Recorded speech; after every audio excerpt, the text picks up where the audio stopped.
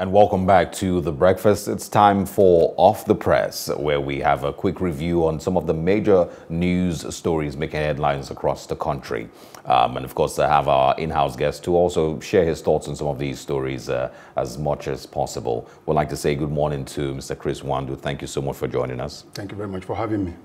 It's a pretty interesting um, uh, morning. There's so much that has gone on in the last uh, 24 hours. Exactly. Um, of course, coming from uh, Rotimi Amaechi to uh, Douye Diri in Bayelsa State. So I'm hoping that some of these things will come up and we can quickly uh, run through them. I hope so too. All right. I'm going to be starting with stories on the Tribune newspapers this morning. Let's see what we can quickly find over here.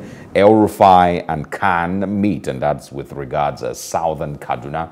Also, COVID-19 test a must as international flights resume on the 29th of August. Nigeria's comatose refineries gulp 10 billion naira in one year.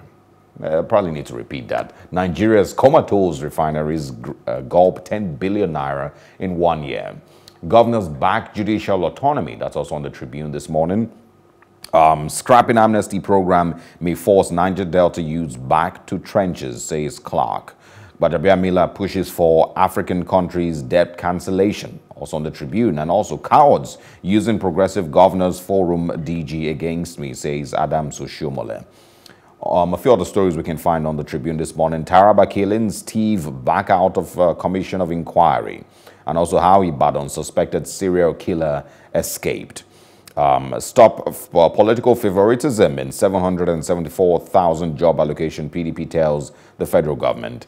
And reps and Amaechi differ on $33 billion rail project loan. One other story I'm going to quickly take this morning. Tribunal nullifies Bayelsa governorship election, orders fresh election. And of course, uh, Governor Douye Diri uh, has uh, spoken about his uh, uh, plans to appeal that judgment. Chris Nwandu, let's dive in. Yes, um, of course, we have to start with the headline, the major headline in the Tribune, which has to do with uh, El-Rufai meeting with the um, uh, officials of uh, CAN over the Southern Kaduna um, uh, killing. Yeah. Uh, and that's been going on for weeks now. And good enough, um, the various um, gladiators are meeting. Um, but what's on to me is also the statement of um, coming from some of the leaders of um, Southern Kaduna. Uh, latest being that of uh, former River State military governor, General Lekwot, where he was blaming the statement created to the um, one of the commanders of the military, uh, Major General Emeka Okonkwo, uh, who was saying that um, the attack comes from both ends. And, and the general was saying the truth, uh, whether they like it or not. Um, it's just it's not only the Southern Kadunas that um, that being also the uh, the Fulanis also being attacked. So there is always attack and reprisal attack. That is what is going on. And I just hope that um, those, the meeting that is going on uh, with the, all the stakeholders will be able to put an end to that uh, issue. That has the, the, the problem Southern Kaduna has lingered for close to 30, over 30 years now. Um, so it's not just a new issue, and I, I, I, I, believe by now that would have sorted. But the comments coming from some of the leaders and also some the activities of some of the indigenes and yeah. also also that is not helping matters. So it is it is both political and religious in nature, and I think we should be able to need that in, in the board. Good enough. The Nigerian Force a few days ago had um, stated that they are reinforcing their uh, presence in the southern Kaduna, we hope that we'll be able to solve some of these problems. So um, it, it, there is no way that we will not have to look for peace. Yeah. Um, and we, both parties must also learn how to coexist within the community. There's no, there is no way you can do that. Um, so that is my take on that um, for Southern Kaduna. Then, looking at other, other stories, uh, we've discussed um, the issue of um, the governor um, Bayelsa governor that was yeah. um, uh, yes, that uh, election was nullified yesterday. Is um, is a big problem for me because we know what it takes to conduct an election in Nigeria, and um, if INEC is going to conduct that election, it's also going to um, cost a lot, if you know, um, money that is not even available that can be used for other things. Um, but uh, good enough, the governor says going on appeal, which is his right.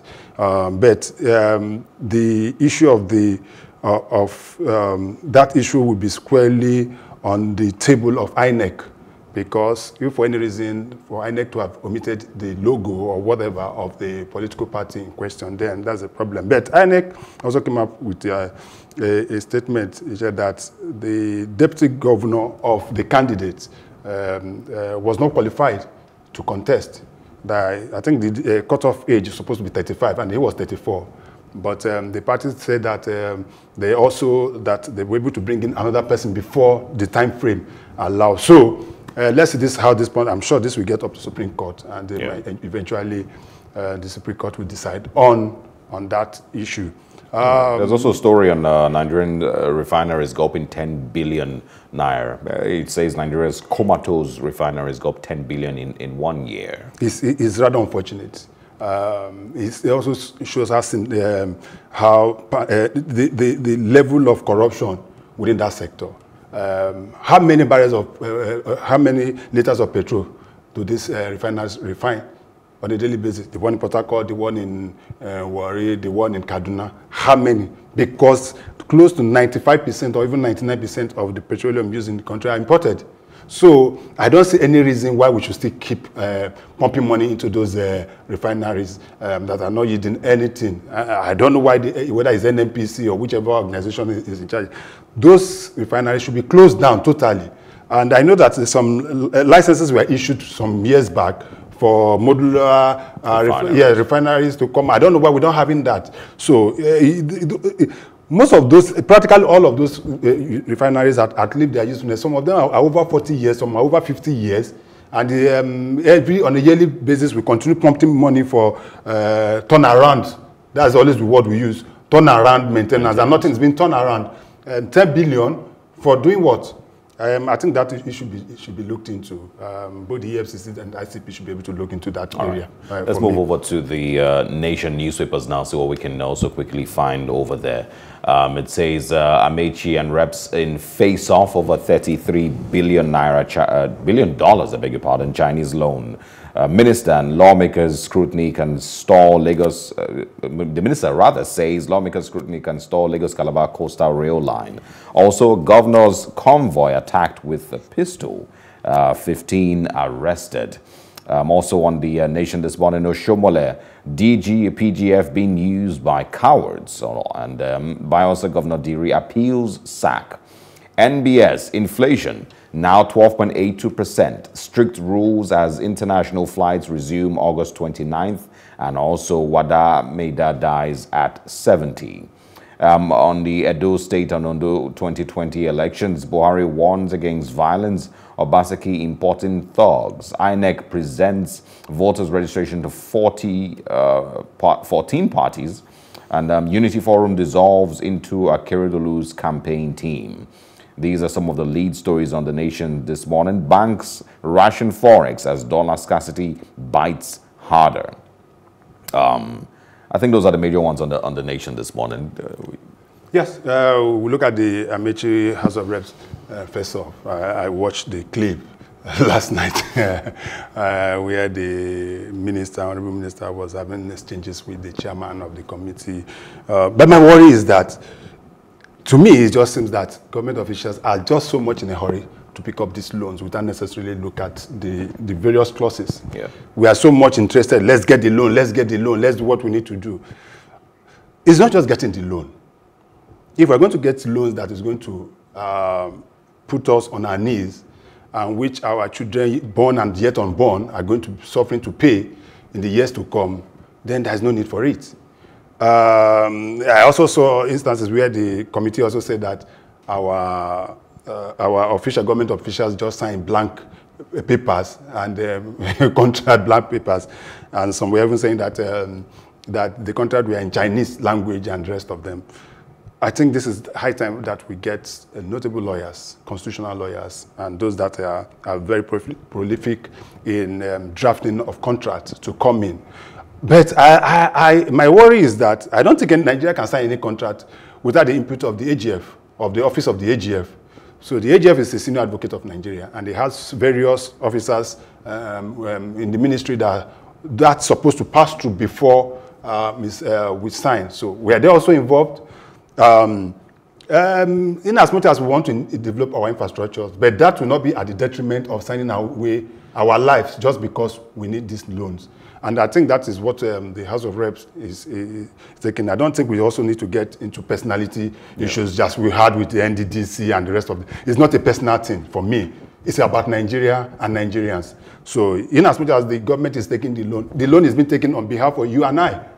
Uh, my money is there. Yours is there. As far as Nigeria is going to pay back the loan. So um, I, would, I would say the minister should tarry a while. I had him shouting and saying that, oh, this, uh, the so, so the Lagos um, uh, Calabar rail will be, contract will be uh, discarded, will be distorted and rest of them. Fine. Um, but let us look at the books. Most often than not, um, I know that, you know, the terrible lines in contract always come in very, very tiny letters. Very, very tiny, not the bold ones. Yeah. The bold ones are the ones you can, but those tiny ones that you just overlook is just like you buying something and you're giving certain clauses and they just value, you can just say, they say sign, you sign, or click, I, I agree. When it happens and you come to see the problem that involved, you'll be shocked. So I think that should be, uh, the contract should be properly, $33 billion, boy, bro, no be more money, no be more money. So that is it for me. I think we should be able to look at this contrast properly. Yes, we need this loan for development of certain basic yeah. infrastructure, but not at the detriment of our sovereignty and also Nigerian integrity. It has happened in certain countries. There's a country, I think Zambia, one of these uh, West, African, West, West, African countries, we had a sign um, to pick up a loan from China, and at the end of it, they couldn't, their airport, international airport has been taken over by Chinese. I think the arrest system and so many other national assets have been taken over by Chinese. It is, it is it's happening now. I think it's Zambia, one of these. I don't know which of the West African countries, but it is happening. Are we going to go stem that route or again? I don't think we should do that. So, but in course of also, my problem is also, let us also make sure that the loans we are taking, we are using it for the right things. Okay, not just money that we pick up and we, people embezzle at the end yeah. of it, or those infrastructure that we're supposed to pick it up for uh, are not being used. Yeah. Um, then we, we can also look at um, the issue of uh, Edo. Uh, we are, um, former chairman of APC is accusing the spokesman of the DG of the uh, um, progressive, progressive Congress of yeah. um, being used. Well, in politics, anything can happen in politics. So whether it's being used or not being used, the fact is that it is APC's governors forum or is it is he talking about Nigeria Governors Forum? So um, Adam Shomole has been there. He was the two-time governor of Edo State. He knows the working of um, of this forum. So if he has any complaint, I think he, knows the right uh, place to place those um, complaints so that it can be resolved. Um, but as far as I'm concerned, it is still the heart of a Edo State that is on, on, uh, on play. It is um, the governorship election that's coming up September 19th. Yeah. And it's a two-way, it is a one-way traffic between the governor, uh, the candidate of the PDP and APC. And we know where Adams Oshiomhole stands in this. So expectedly, uh, I expect he also met with, uh, And he was also with the president yesterday. Yeah. Yes, he visited the president yesterday and, and I heard what he said. So, but um, I am just appealing that the, the gladiators in this election should just temper their utterances. All right. The, the way they are playing this is not just good enough. All right, let's move to the Guardian newspapers and see what we can also quickly find here. It says here that fatigue slows down COVID-19 fight. Um, also on the Guardian, surprise and outrage as tribunal nullifies Diri's apex court victory. Don't panic, we will get justice, Diri tells his supporters. Um, 36 governors for judicial autonomy says Fayemi. And also on the Guardian newspapers, minister tells Nigerians to adopt treatment protocol. That's with regards COVID-19. Africa marks six months of uh, first COVID-19 case. Um, uh, what else can we find also on the Guardian this morning? Uh, mixed uh, tales as uh, the, of course, WASSCE kicks off nationwide the examinations for secondary school students. This is, um, you know, a couple of the stories that we have on The Guardian this morning, not very many of them. Yeah. But of course, uh, let's talk quickly, maybe start with fatigue as uh, Nigeria's COVID 19 uh, fight slows down. Yeah. Nigerians are tired, seems to be tired of coronavirus or COVID-19. They feel that it's time for them to move on with their lives and the rest of them. And the government is doing all within its power to also make sure that um, the economy is reopened. Um, the international flight will commence uh, on the 29th of August, uh, which goes to show that we are really ready. But even at that, people are still dying from COVID-19. But the problem here is that uh, most Nigerians still don't believe there is COVID-19. And um, most of the protocols um, um by um, NCD, um, NCDC, uh, Nigerians are not observing it. Yeah. You don't see people using mask, face masks again and the rest of them. So it is now a free fall for everybody. And what this government is doing practically is just putting it back, uh, pushing it back to, uh, the, to Nigerians to take your life um, and be able to safeguard that. So um, I'm not surprised, even across the globe, uh, most countries are um, practically opening up and finding way, but I still believe that part of the solution to this is that we should look for homegrown solutions to some of these issues, especially in the area of uh, vaccine, trying to look for vaccine, locally made vaccine if we can, so that uh, we don't need to rely on any international or, or any foreign country for assistance even after um, post COVID-19, we also have other pandemics. Others will still come. Yeah. But how ready are, are, we? Are we going to go to bed immediately we are through with this, just as we, we did with Ebola? Um, that is not the way to go. But I believe that um, Nigerians should be most cautious. People have been dying recently. You've seen high-profile people still dying from COVID-19. Um, but we can still do more. I don't know whether we are testing more. I don't know whether we are testing more as much as we are we should do because that is where the problem is. If in a country of about 20, uh, 200 million people and we just still have that little fraction of those tested, uh, I, I don't think we've, we've done enough. So, okay. But good enough, the US has given us some ventilators, about 200 recently, and the president has also approved about 8.9 billion um, naira um, to get more kits. Let's see how that goes. Okay. All right, we're going to move to the uh, Punch newspapers this morning. We have a couple of stories here that we can also quickly share um, with you. Of course, uh, some of them we've already spoken about. Um, but hey, experts finger petrol price hike as and others as inflation hits 12.82%. Scarcity disrupts banks, IOCs, telcos, uh, forex payments and also Diri to Appeal Tribunal as uh, appeal rather as tribunal sacks Bayelsa governor orders fresh poll. Um, what else can we find? If I respond to PGFDG, it's like fighting a pig, says Adams Oshiomhole. And um, also Nigerian traders, shops, federal government considers retaliatory actions against Ghana. I believe we should bring that up. It's uh, um, it's a pretty huge, you know, event that is currently ongoing. On Chinese loan, terms are dangerous says reps as federal government confirms sovereignty clause. Nigerian government officials signed empty pages of loan agreement. It also says $326 million loan on rice farming yet to be disbursed four years after signing. Rotimi Amaechi defends contentious clause. Uh, DMO provides three out of 14 documents. Um, also, 2.2 million voters, voters speak Edo governor on September 19th and how herdsmen killed my fiance and kidnapped me, says an Oyo female farmer. Um, these are the ones that we have uh, a time for. So let's quickly see what we can rush through um, on the punch. Yes, um, let's look at the uh, problem Nigerians are, traders are facing in Ghana. Uh, it's becoming too much um, an issue. I remember last year, um, the same problem, they faced the same problem that their shops were closed. Um, then, then it was said that it was the trade union in Ghana that embarked on that. But now it's the government of Ghana that is doing it. And I, I always wonder why it has to be uh, Nigerians. Um, I, I, know that uh, there, there, used to be a player in the Premiership then, but uh, Balotelli, who always ask, why me? So why, why is it always Nigerian? Uh, it's not only in Ghana. Yeah. We saw what happened in South Africa. South Africa. They take up Nigerians. If you go to other parts of the, uh, Africa, I don't know why Nigerians have always been um, taking retaliatory action. I don't know how. Personally, I cannot identify any Ghanaian in Nigeria. Sincerely, if I see a Ghanaian on the streets of Nigeria, I don't know. I don't even know those of them that have shops or what.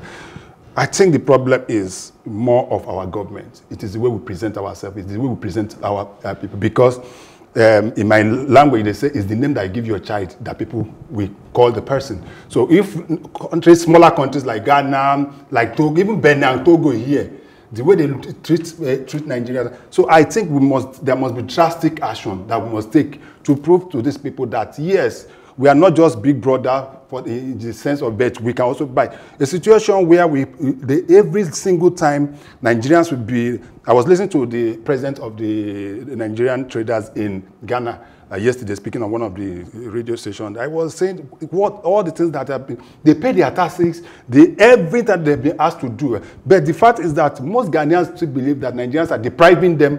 Yeah. You understand? That is where the problem is. These are guys that have left their country, are working so hard, and they are also um, building your economy. So why every time that why do have do they have to? They close them down. Sometimes they burn them their uh, business.